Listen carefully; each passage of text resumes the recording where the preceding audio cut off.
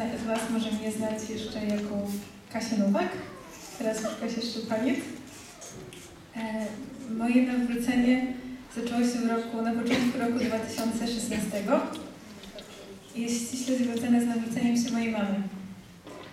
Ponieważ e, mój dom z pozoru, mój dom rodzinny z pozoru był domem zwyczajnym, nawet można powiedzieć fajnym, to był tylko pozór, ponieważ kiedy już miał, mieliśmy wszystko, niczego nigdy nam nie brakowało, to nie było tam miłości między rodzicami.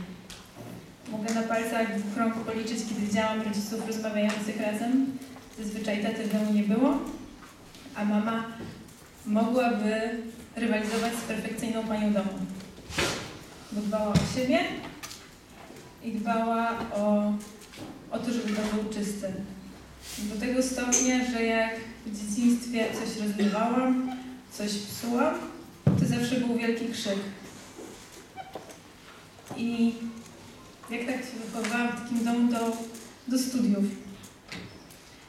I kiedy byłam na tych studiach, to udało mi się dostać na Erasmusa do Hiszpanii. Miałam polecieć zaraz po wakacjach, na pierwszy semestr.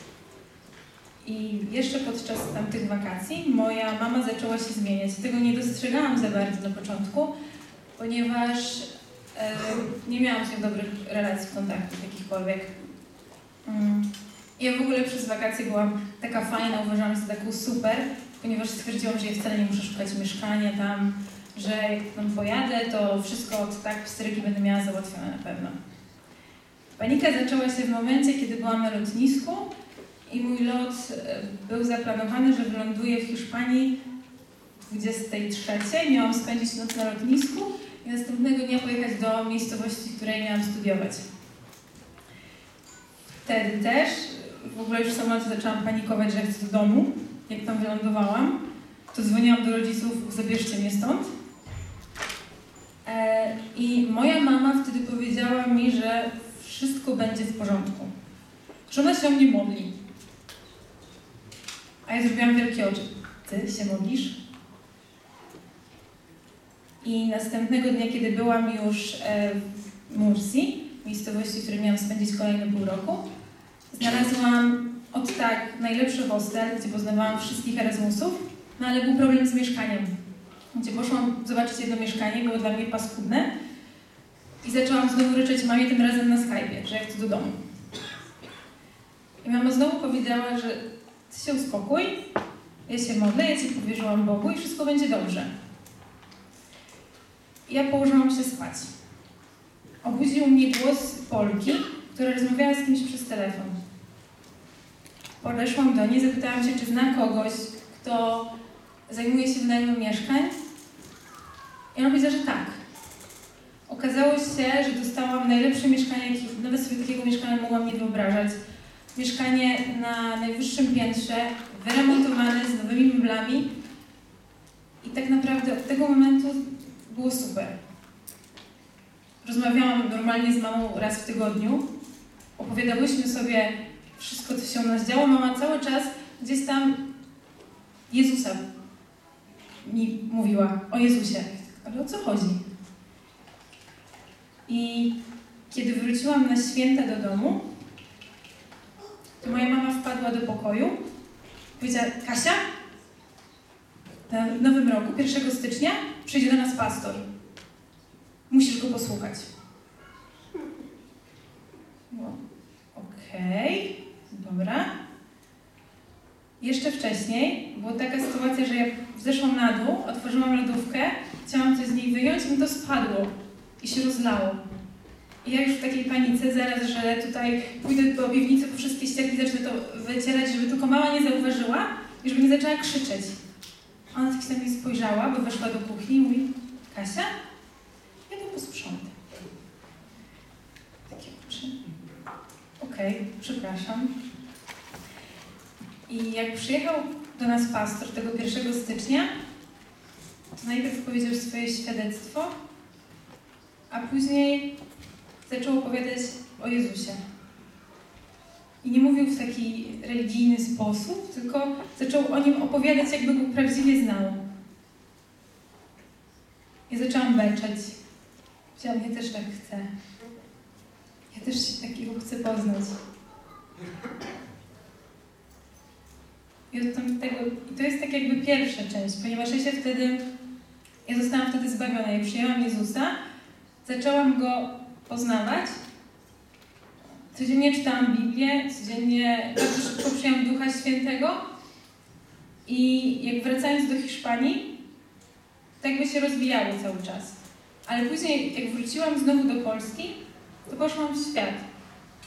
Bo dostałam się do Warszawy na studia i tak dalej. Gdzieś to zostało. I później, jak wróciłam znowu, tym razem z Erasmusa z Florencji, to moja mama zaczęła tutaj przyjeżdżać do Kościoła Mocy.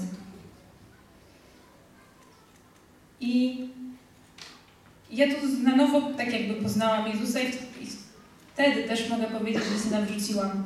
Zaczęłam się nawracać. Ponieważ zobaczyłam ludzi, którzy faktycznie za nim idą. Też stwierdziłam, że tak jak mama i mój tata, mój tata też się nawrócił, przyjęli chrzest wodny, ja też takiego chrztu chcę. I Agata, pamiętam, chrzciła mnie w domu Moniki i Roberta. I ten chrzest bardzo dużo dla mnie znaczył. Bo ja wtedy zaczęłam naprawdę rozumieć, kim jest Jezus, tak w stu procentach. I co zrobił na krzyżu dla mnie. I ja z tygodnia na tydzień poznawałam Go coraz bardziej, coraz bardziej, coraz bardziej.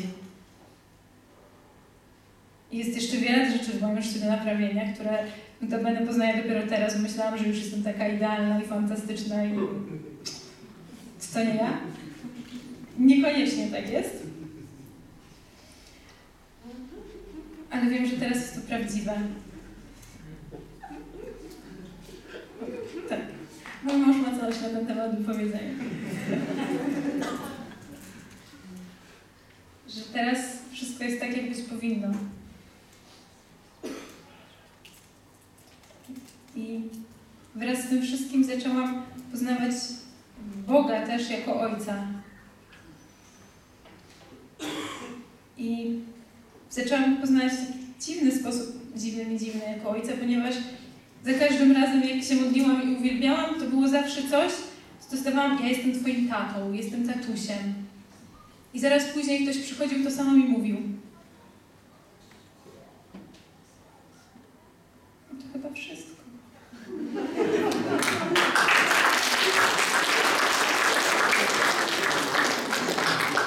Dzięki, słuchajcie. Posłuchajcie takiej ważnej rzeczy, że e, zobaczyła ludzi, którzy idą za Jezusem. Rozumiecie? To jest tak ważne, żeby ludzie widzieli, że ty za Jezusem idziesz. Że widzieli to. Nie tylko, że oni słyszą Ewangelię od Ciebie. Żeby widzieli, że Ty idziesz za Jezusem.